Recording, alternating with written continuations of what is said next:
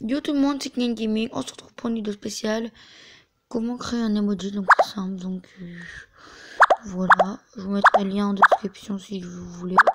Donc c'est parti. Donc oh, trop blanc. Voilà. Donc pour choisir les cheveux, c'est très simple. Il suffit de cliquer là. Oh, oh. On va faire comme ça. Voilà. Hop. Les yeux plutôt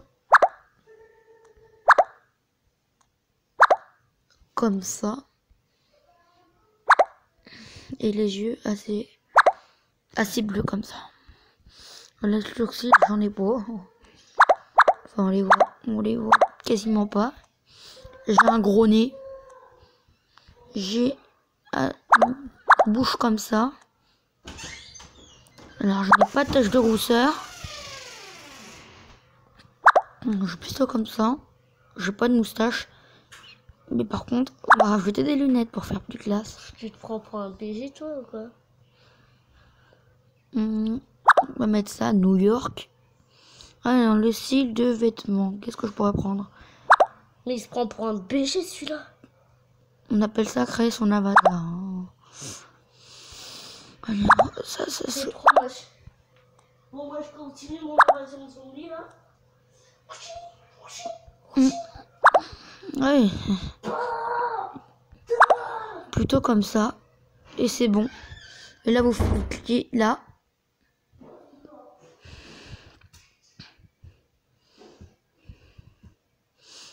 Ça va faire loading. Et là, euh, voici le moment venu. Donc, une fois que vous avez fait votre avatar, ça vous, vous affichez ça. Donc, ce que vous faites, c'est qu'on va prendre au hasard, on va prendre ça, au hasard. Et vous allez save.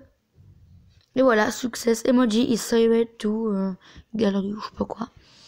Donc vous sélectionnez ce que vous voulez.